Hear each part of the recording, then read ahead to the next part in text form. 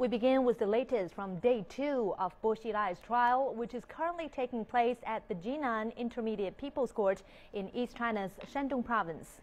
Earlier this morning, the court investigated bribery charges leveled against Bo, the former party secretary of Chongqing. The prosecutor and Bo went back and forth regarding testimonies from various witnesses.